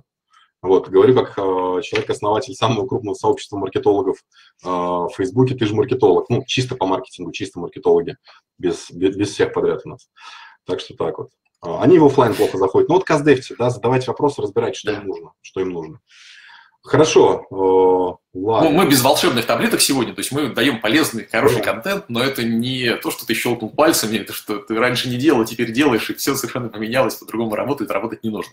Да. Андрею огромное спасибо. Да, коллеги, мы... вам спасибо за внимание. Надеюсь, что какую-то пользу вы сегодня отхватили, что-то записали, что-то еще в записях посмотрите. Вот. Выведи, пожалуйста, последний слайд, как на тебя подписаться Давайте. еще разок. Ой, ой, ой, в твои залез, сори, сори, все, не наказывай меня. Ничего. Смотрите, вот не буду. Здесь, здесь имейлы, а, собственно говоря, в Фейсбуке, здесь вот а, инстаграмчик мой, можно там сфотографировать и прийти. Вот. А, все, ребят, смотрите, последнее напутственное послание от меня, ну, их будет два в одном. Вот, первое, никому не верьте. Вот не верьте мне, не верьте Мише, да, то есть вот вы посмотрели наш вебинар сейчас, вот после него сразу возьмите и попробуйте. Вот возьмите сервис, откройте hunter.io, введите домен вашего клиента, посмотрите, нашлись email или нет. Не нашлись, введите домен другого клиента. А, Миша сейчас показал про Bittrex 24, вот нет у вас компании еще, думаете или нет. Зайдите в демо-кабинет, потестируйте, понажимайте кнопки, посмотрите, изучите. А, самое главное – это практика, да, потому что вот э, мы всего лишь даем вам 10% пользы, от которой можем дать. 90% вы можете получить только проверив это руками. И у вас это запишется в ваших нейронных связях. Вот, в общем, делайте хороший маркетинг, а не хороший маркетинг не делайте. Все, всем спасибо и э, удачи. Ольга, это сервис про цифровую воронку, это сервис в Bittrex тоже это есть. Э, там ты выстраиваешь бизнес-процесс, э, в зависимости от стадии, где клиент находится, на какой стадии, э, ему может прийти смс ему может прийти email, напоминание менеджеру позвонить, а, выставляется счет там и так далее. У меня нет битрекса. Ну вот, а, ответ очевиден. Сейчас поправим. Ответ очевиден, да, хорошо. Все, да. ребят, что Андрей, спасибо огромное еще раз, да. Мы давайте. от записи сегодняшнего вебинара сделаем, можно будет пересмотреть там на 0,75 скорости примерно, или там как, как будет комфортно, и вытащить то, что интересное, классное и нужное. Андрей, еще раз большое тебе спасибо. Так, друзья, а, напомню, у нас в чатике можно про Bittrex24 спрашивать. Если его у вас нет, задавайте вопросы, а можно ли. Если он у вас есть, тоже спрашивайте. Коллеги, сегодня компания Altasip у нас есть, интегратор, который сервис хорошо знает. На вопросы эти будет отвечать. Так, отлично. Вторая часть вебинара. Я буду говорить про как раз э, сервис Битрикс24. Ну и, естественно, буду говорить про там, дружбу или не дружбу маркетинга и продаж. Буду продолжать немножко э, тезисы Андрея. Э, сервис Битрикс24 сервис комплексный. Это не только история про CRM, она вот здесь в центре обозначена, но это и инструменты, которые касаются организации совместной работы внутри компании, построения работы по таск-трекеру по задачам, поручения и контроль этих исполнений поручений, сервисы коммуникации с вашими клиентами на современных площадках соцсети, мессенджеры и классических инструментах, телефон, например, там, электронная почта или формы на сайте. И это и продажи, в том числе в интернете. Я чуть-чуть буду касаться сегодня а, непосредственно функционала, как это выглядит, э, не буду касаться настройки, но логически буду такие пробрасывать мостики, что есть полезного, на что стоит обратить внимание, и, как правильно сказал Андрей, попробовать руками, ну, самый верный способ. Тут у нас еще есть коллеги-интеграторы, которые могут вам помочь а, попробовать все это руками. Итак, ну, несколько раз сегодня касались этого, этого вопроса, кто виноват, старинная русская сказка, Слева условный собирательный образ э, маркетолога, справа условный собирательный образ э, менеджера по продажам. И когда приходят лиды в компании, вот классический inbound маркетинг, про который говорил Андрей, тогда маркетинг должен привести лиды, продажи должны лиды обработать. Ну и если результат не очень, то каждый из них пеняет друг на друга, говорит, лиды не совсем качественные вы привели, маркетинг говорит, вы их обрабатывать не умеете, качественные я привел. По сути, единственный способ подружить их каким-то образом, построить у них какое-то общее пространство. Теперь я хочу сказать про границу. Видел в чатике вопрос, когда в компании есть там, директ, ну, немножко сотрудников. Один директор, один э, сотрудник, который занимается, например, там, продажей или отгрузками, один, который занимается маркетингом. Как распределить? Должен ли продавать первый, второй, или где эта граница находится? Есть классическая модель АИДа, которая говорит про то, что есть воронка, и от самого начала воронки, от узнаваемости бренда условно мы идем, и в конце до действия, когда мы совершаем покупку, например. Что э, в этой воронке происходит в разных отраслях? Есть бизнесы или э, форматы работы с клиентами, когда вся эта воронка завязана на один сервис или на одного человека. Ну, классический пример, наверное, интернет-магазин ты привел трафик в интернет-магазин, и там все построено таким образом, что ты и покупку совершаешь на этой же площадке. Там не подключается другой человек, которому передают лид, и он дальше уже с ним работает. Не там длинная воронка B2B. Тогда вот все четыре действия выполняет один человек. Ну, назовем его маркетолог или там владелец интернет-сайта или еще что-то. А, есть бизнесы, где а, на каждой стадии разный ответственный человек. Скорее всего, это крупные бизнесы, и за а, там, узнавание, общую узнаваемость отвечает, например, пиар, за формирование а, потребностей, интереса, вот стадия желтая интерес, отвечает, например, маркетолог, за принятие решений отвечают они где-то вместе с а, отделом продаж, и последние действия, вот сделка, принятие денег, отгрузка – это отдел продаж. Может быть, там, три или четыре участника. Вы у себя в бизнесе определяете, как у вас устроено, то есть где тот самый переход от привлечения клиентов до того момента, как э, человек купил у вас, человек или компания, B2B, B2C вы работаете, совершил покупку. В общем, граница это уникальна в вашем бизнесе, вы на него смотрите и сами определяете, где тут роль. Но какой еще ключевой момент можно вытащить отсюда? Если вы видите эту воронку, то вы понимаете, что и маркетинг, и продажи работают ну, в одной, по сути, воронке. То есть это одна и та же задача общего бизнеса – совершить продажу. Привлекает клиента маркетинг, но совершает продажу бизнес. Поэтому, по сути, единственная возможность сделать так, чтобы маркетинг и продажи ну, как-то вза взаимодействовали друг с другом, дружили и друг на друга ответственность не спихивали, это положить их в одну воронку, CRM когда маркетинг приводит лиды и может посмотреть прямо там в CRM, насколько быстро и качественно их обрабатывают. Нужно послушать записи. Пожалуйста, мы послушали записи или почитали чаты, как менеджеры общаются с клиентами. Оттуда сразу же становится понятно.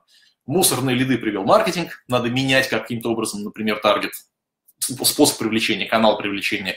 Или нужно отправить менеджеров на там, курсы, в отпуск или еще куда-нибудь, если они совсем не умеют работать с клиентами. Провести с ними там условный тренинг, работу, чтобы нормально можно было взаимодействовать.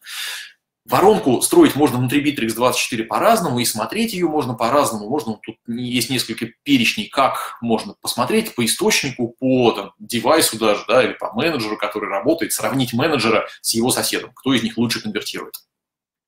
Окей, идем немножко дальше.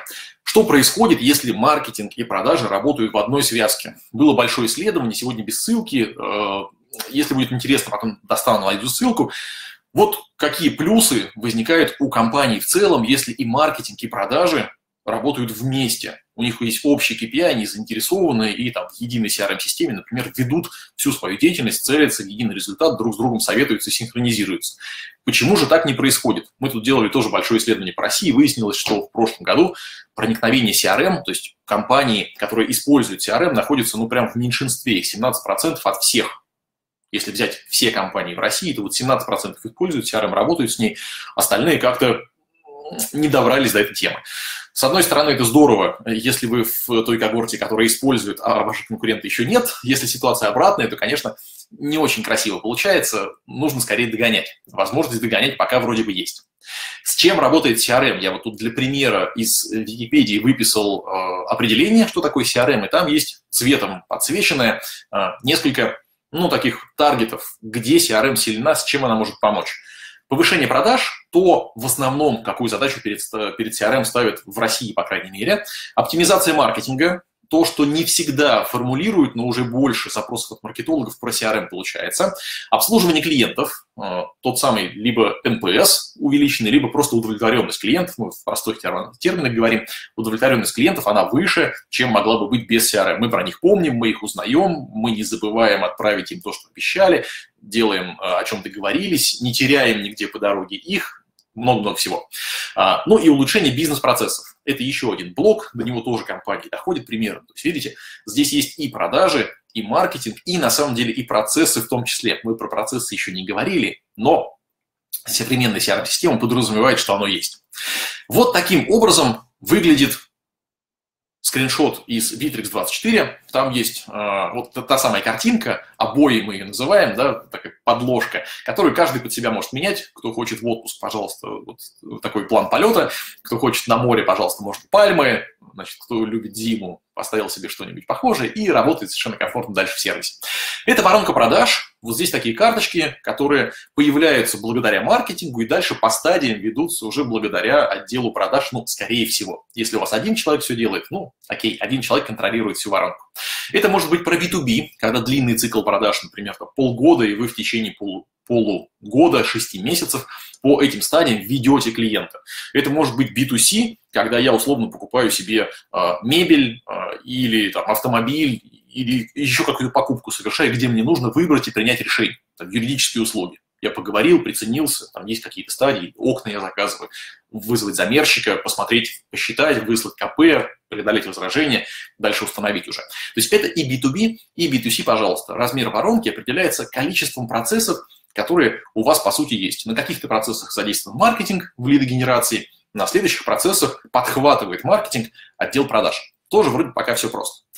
Какие ключевые задачи у CRM есть, которые как раз обеспечиваются вот этой дружбой маркетинга и отдела продаж и помогают эту дружбу создать? Первая, самая большая задача – не потерять входящее обращение. Если маркетинг молодцы, сделали классную рекламную кампанию, дали номер телефона, который не отвечает. По сути, все усилия компании, все деньги потрачены зря. Или они дали рекламу, а все люди пришли в почту а там почта сваливается в какой-то спам. Или еще какая-нибудь ужасная ситуация, которая не должно быть внутри э, компании, но мы должны точно знать, что такого не будет. Поэтому подключаем к себе все каналы. Сейчас бизнес присутствует в разных каналах, мы вынуждены быть и в социальных сетях, и отвечать на почту, и телефонные звонки мониторить, и в мессенджерах присутствовать, и вот, вот, вот везде мы должны быть.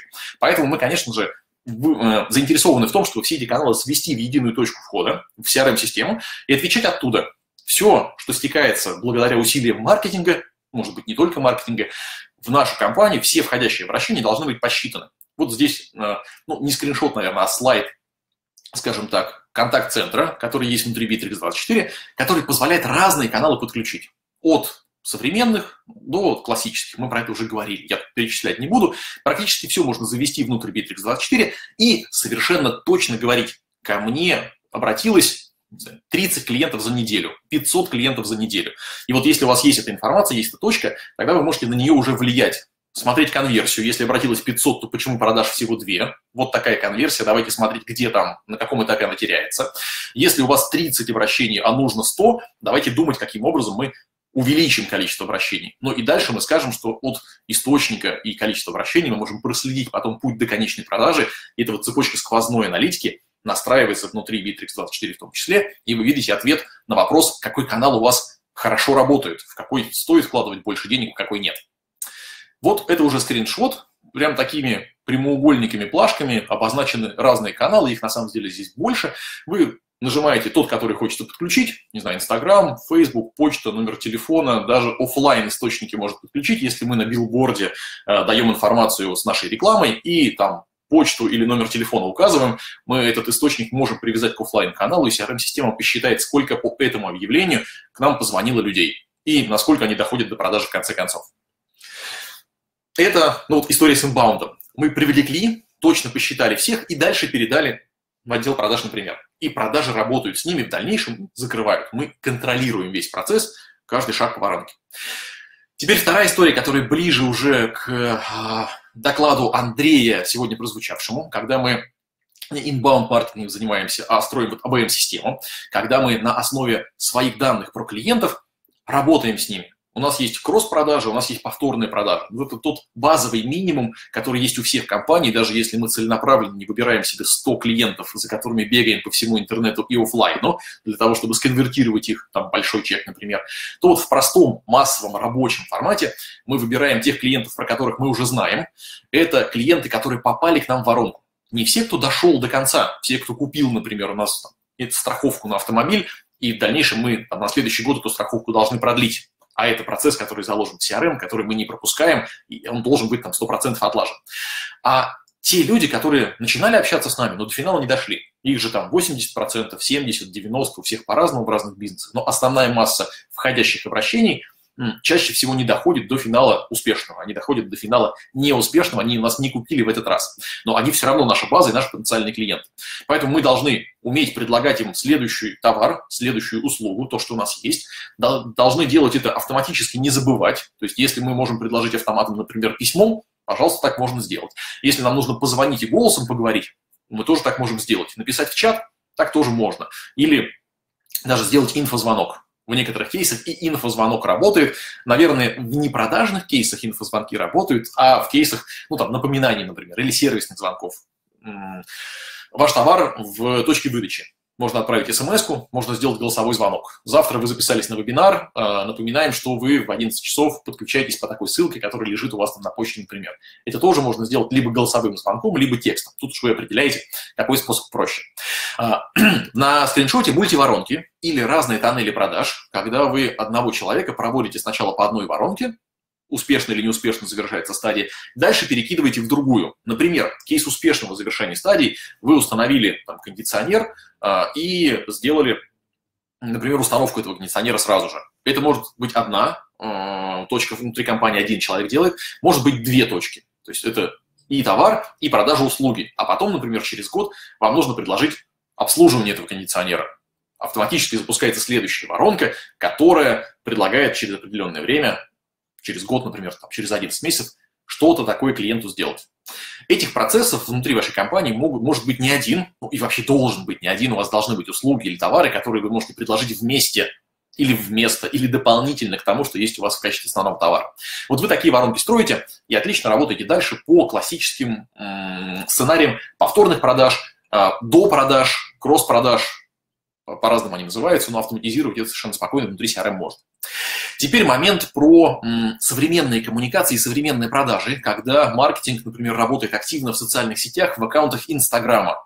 Есть тут в аудитории, друзья, среди вас те, кто больше работает, например, в Инстаграме или там в Фейсбуке, чем а, работает в классических инструментах в почте и в телефоне, так, мобильном или SIP, или простом городском телефоне. Поставьте, пожалуйста, какой-нибудь плюсик. Есть Окей, спасибо большое за обратную связь. Соответственно, а, какой там нюанс возникает? Когда мы здорово показали себя, ну, условно, в аккаунте Инстаграма, рекламой или в собственном аккаунте, мы говорим, а, если вам интересно, пройдите, пожалуйста, в личные сообщения. Это классическое, в личку ответил, да, в личку скинул. Сколько стоит, вот столько-то. И там нужно продолжить такое общение. Мы все знаем, что когда мы ловим клиента в э, сообщениях, в чате, в мессенджере где-то, то там очень большая доля эмоций если наш товар или наша услуга не, не с очень большим чеком, то есть условно там это тысяча рублей, вот сейчас просто из головы беру там, например, и для нашей аудитории тысяча рублей это не очень критичная сумма, то там очень зависит все от того, на какой эмоции сейчас человек э, с этими деньгами готов расстаться. Если у него позитивное, хорошее настроение, вот в Питере сегодня солнечно, прям классно, здорово, и в чатике мне что-то такое понравилось, э, классно, там, желтая кепка, вот классная желтая кепка и, солнце хорошо, я бы сейчас и купил эту кепку.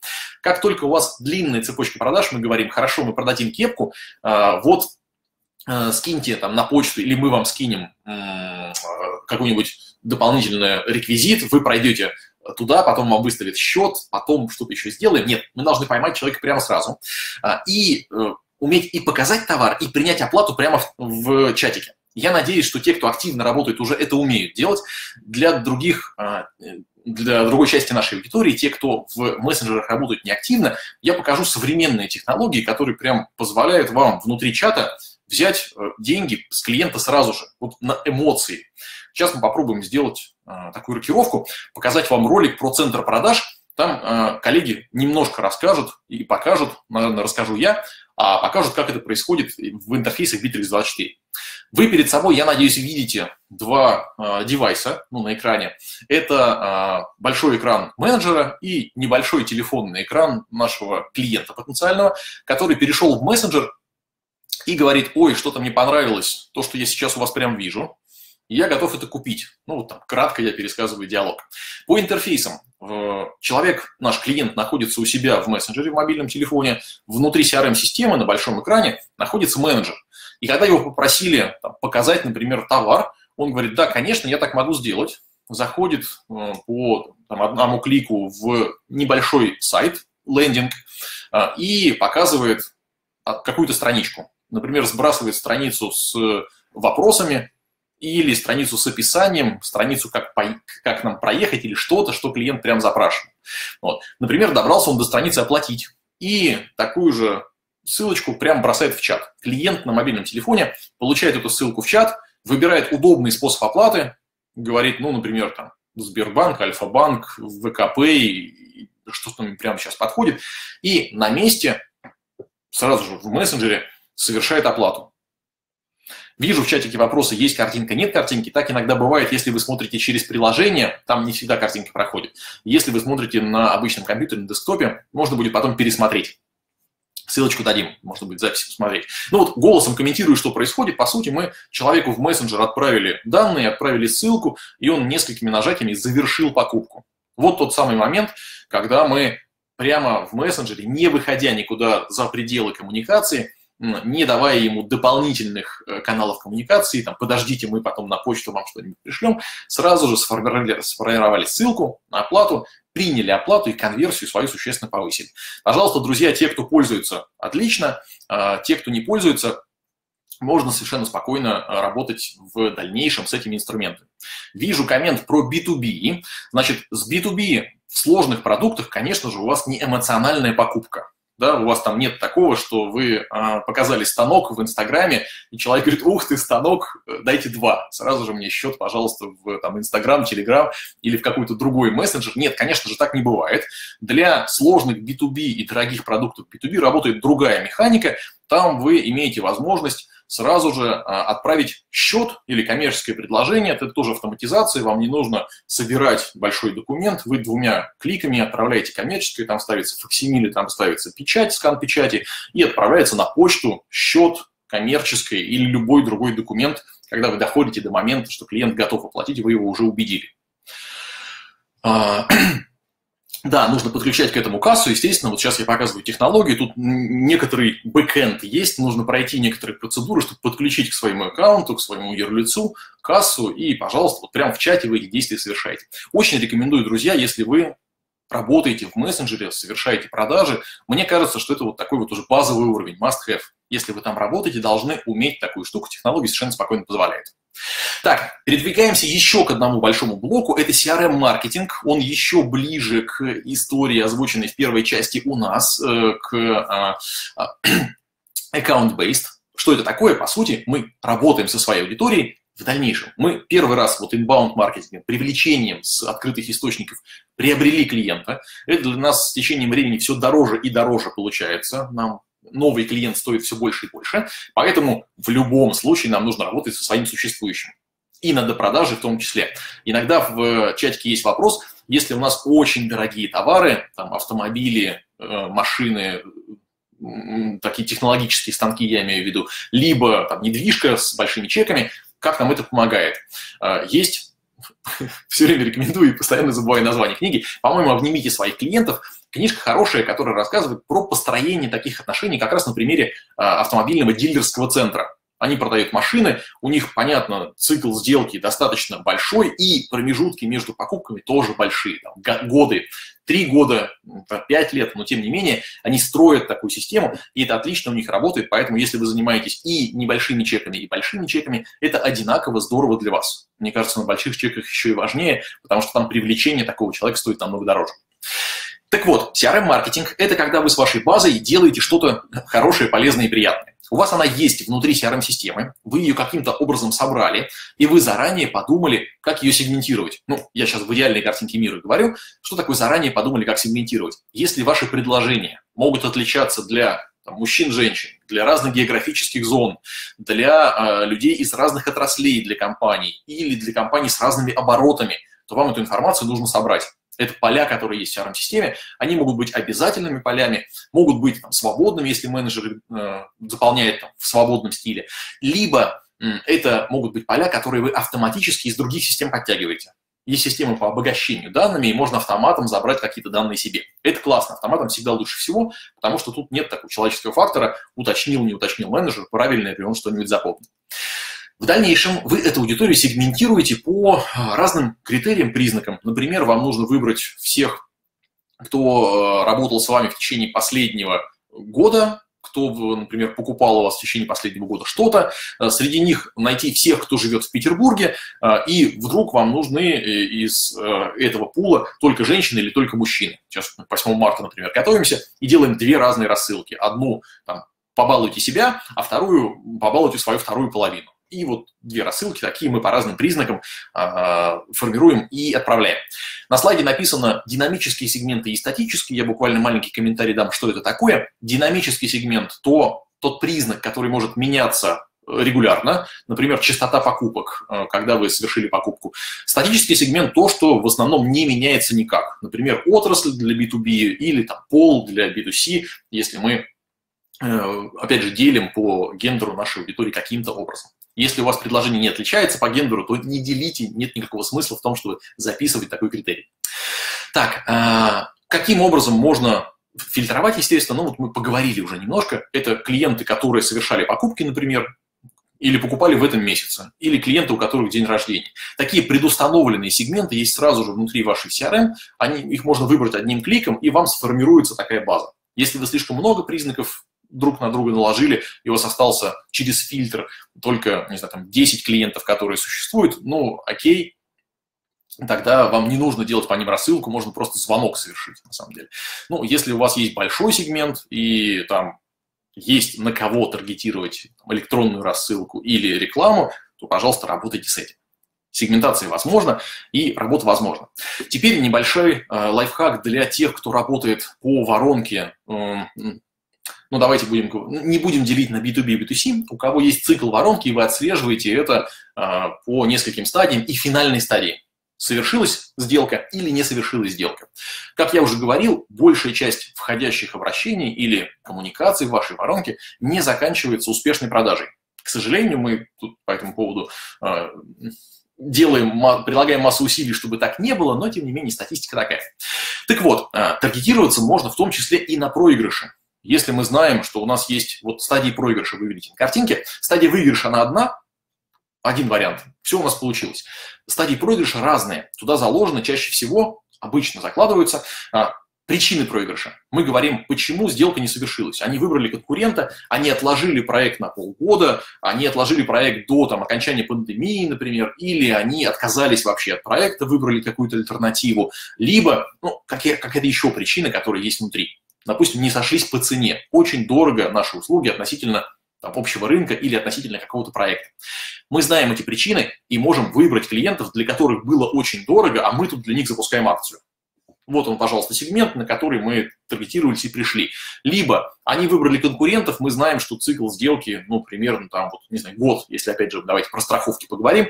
Вот они страховки, год она действует, через год она заканчивается, нужно продлять. Мы можем прийти к ним, мы знаем, когда нужно прийти, если вы автомобилист, вы знаете, когда к вам приходят, э, и предложить на следующий год посотрудничать с вами, например. То есть вполне нормальная сегментация, которая есть уже у вас в воронке по причинам выигрыша или проигрыша. В данном случае по проигрышу. Итак, CRM-маркетинг, что это такое? Это деление своей существующей аудитории и дальнейшие действия уже с этой аудиторией. Мы говорим, вот все, кто у нас выиграли, проиграли сделки, все, кто живут у нас в этом городе, все, кто у нас совершали покупки, или все, кто находится на каком-то этапе воронки. Мы можем и так в том числе работать. Мы говорим, если человек в нашу воронку попал, например, это сложный B2B, мы его хотим погреть, погреть рекламой.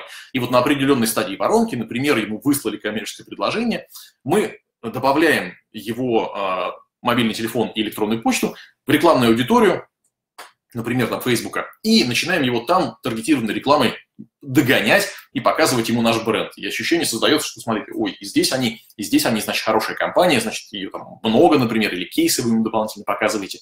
Сценарии совершенно разные. Автоматика умеет так делать прямо из CRM-системы. Вот как раз про это буквально рекламная, э, буквально слайд про это в рекламу, например, реклама в Фейсбуке, вы таргетируете аудиторию, автоматом добавляя ее в э, рекламный кабинет. Значит, какой сценарий здесь есть? Вот первый, который я рассказал, погреть в течение воронки. И э, второй сценарий, например, вы запускаете акцию на своих клиентов. Ну, или акции в принципе, но своих клиентов вы, конечно же, тоже хотите охватить. Основной канал коммуникации у вас, предположим, почта. И вы знаете, что электронное письмо читают, ну, там, 30% аудитории. Остальные, опять же, не читают.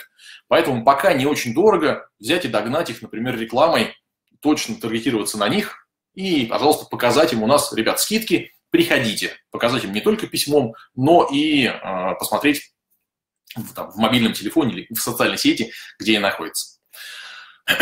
Так, вопрос от Василия. Как быть, если LTV равно единице? Если я вопрос правильно понимаю, то как быть, если маржа от вашего продукта получается равной тому, что, как вы привлекаете. Или LTV вы имеете в виду lifetime value, у вас единственная покупка, больше нет. Василий, уточните немножко, что имеете в виду. То есть LTV, пока мы уточняем немножко в чатике, LTV показатель, а, который, а, который определяет, сколько денег клиент за все время коммуникации с вами отдает вам. Значит, вижу, да, единственная покупка, если у вас, а, если вы видите по статистике, что LTV у вас единица, то это ну, неправильно, и с этим нужно работать. Значит, что можно с этим сделать? Если у вас клиенты по статистике покупают всего один раз, значит, вы с ними в дальнейшем не коммуницируете, вам нечего предложить им дополнительно. Если у вас покупают телефон, вы не предлагаете чехол, вот я на базовых примерах, вы их к себе переносите, а, и не появляетесь через год, чтобы обновить телефон или показать новый гаджет, то есть у вас нет кросс-продуктов.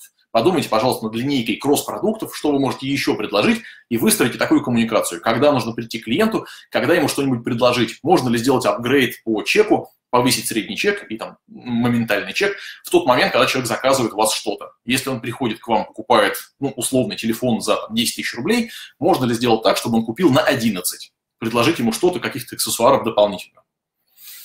Или услугами, да, то есть вы добиваете свою линейку услугами, дополнительными товарами, вы э, увеличиваете количество касаний с клиентом, и, соответственно, покупка у вас не единственная, потому что я же, купив мобильный телефон, не заканчиваю покупку, вот я наушники к нему купил, я к нему чехол купил, через год мне захотелось поменять этот чехол. Что-то еще я узнал, что может быть какой-нибудь там разветвитель на два наушника, или эти сломались, мне нужны вторые. То есть я все равно совершаю покупки. Вопрос, знаю ли я про вас в этот момент. То есть вы просто простраиваете такую коммуникацию. А, про тестирование акций гипотез. Тоже буквально заброшу вам мысли, вдруг она вам понравится. Когда у вас есть мысль, а не поднять ли мне цены, или зайдет ли новый товар в рынок, или я выпустил какую-то специальную услугу, как ее воспринимают мои клиенты, готовы ли они ее покупать. Вот для того, чтобы проверить такие гипотезы, можно делать лендинги. Обычно вы делаете лендинги для посадки на них трафика. Это правильно, классно, здорово. Лендингов у вас наверняка много. Разный трафик приземляется на страницу, которая специально адаптирована для этого. Это классно. Внутри Bittrex24 есть конструктор сайтов. Вы на нем делаете такую страничку и сразу же все контакты забираете в CRM. Этот сценарий, я надеюсь, он понятный, простой, и вы им активно пользуетесь если у вас есть Bittrex24. Если нет, опять же, рекомендую, пойдите посмотрите, как из конструктора сделать сайт и сразу же трафик с него забрать. А, но вот про гипотезы немножко. Если у вас есть такая гипотеза, будут ли покупать, например, товар по цене X2? Могу ли я повысить цены в два раза и э, остаться при этом с клиентами? Не отвалятся ли они все сразу же? А, ну, первое, есть логика. Если я продаю одинаковое устройство, тот же самый мобильный телефон, у всех он стоит 10 тысяч рублей, я буду за 20 продавать не очень понятно, кто его у меня купит, наверное, нет. А вот если у вас услуги сложные, которые конкурентные с одной стороны, но аналогичные услуги или товары на рынке вот прям один в один не найти. То есть можно отстроиться. Тогда можно совершенно спокойно попробовать, если вы особенно продаете услуги, например, там, консалтинга или оказываете услуги разработки или еще чего-нибудь, пожалуйста, вы делали это за там, тысячу рублей в час, а теперь хотите за две попробовать сработает, не сработает. Сделали лендинг, запустили на него какой-то трафик и посмотрели на конверсию. Соглашаются, не соглашаются люди. Очень часто бывает, что такое психологическое ограничение по поднятию цены, оно у вас в голове. То же самое происходит с новым товаром. Насколько реагируют на него люди, заполняют ли заявку, готовы ли они его брать в дальнейшем. Так, а, про сайты. Завершаюсь, тут такой результирующий слайд.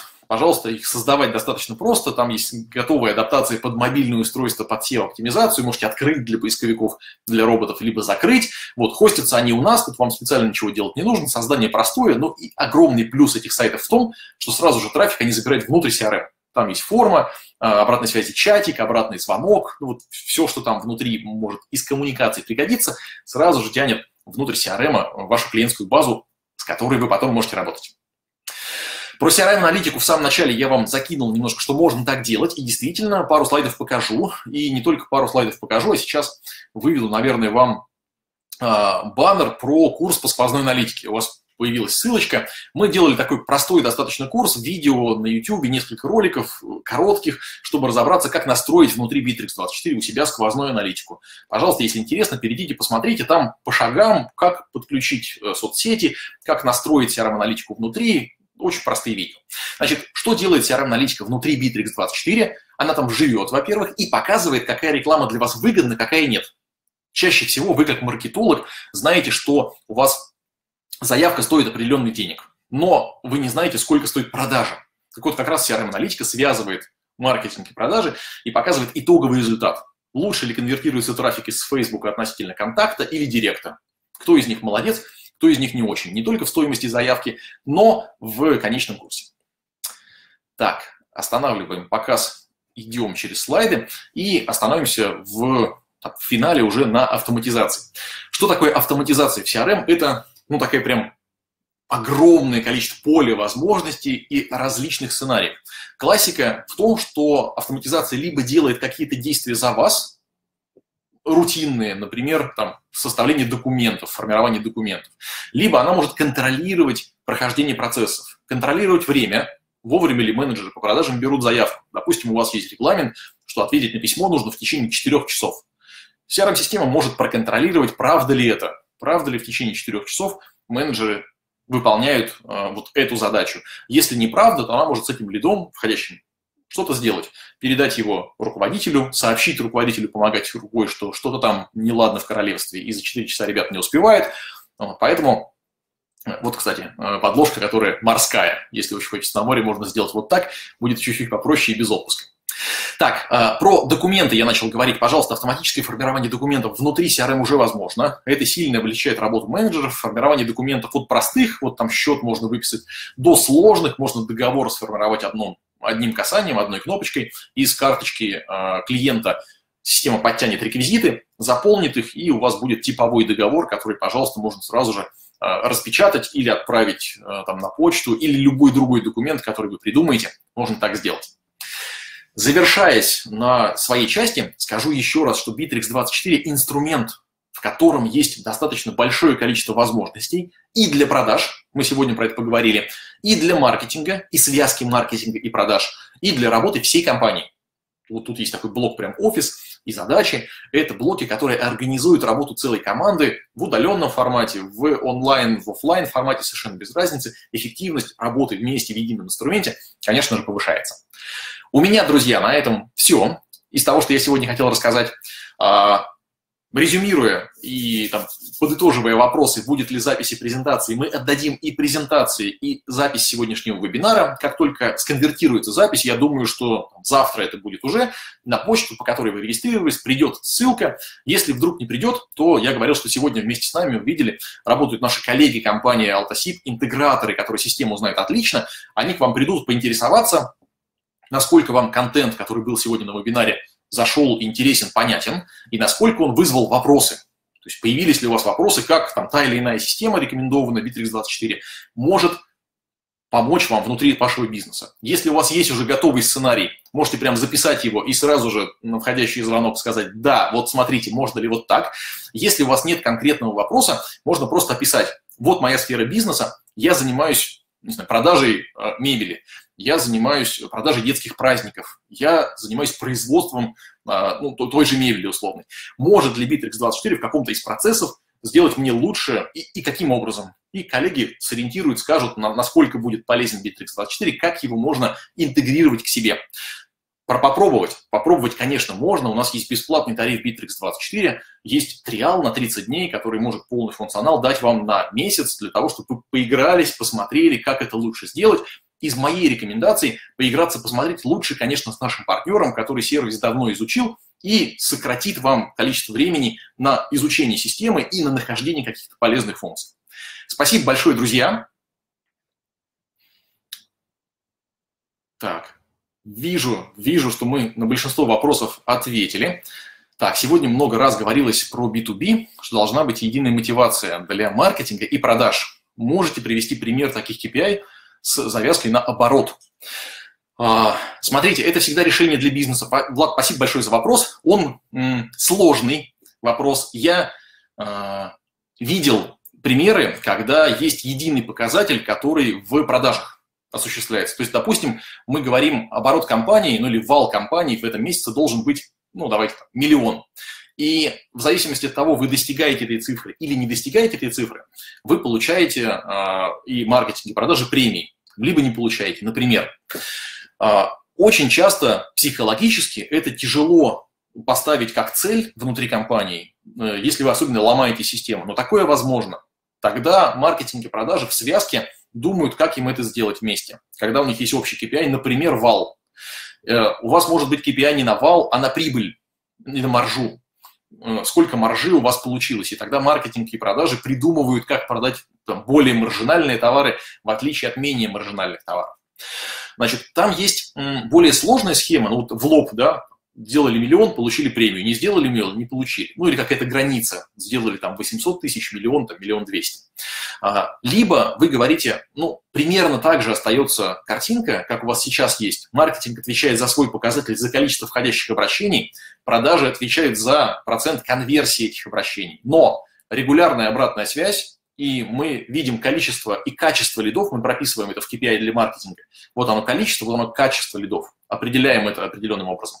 И вот оно э, количество продаж и качество конверсий, то есть процент конверсий, который определяется на стороне продаж. Но это точно должно быть в одной воронке. Вот два таких направления могу вам показать. По-разному заходит у компании. Иногда директивно общий э, показатель миллион сделали, получили, проходит, заходит. иногда так не работает, и приходится чуть хитрее делать. Друзья, большое спасибо. Сегодня, я надеюсь, мы дали много контента, много полезного. Можно будет пересмотреть, сформулировать действительно вопрос, который вы можете задать нашим коллегам из Алтасип, они будут связываться с вами. На сегодня огромное спасибо. Всем удачи!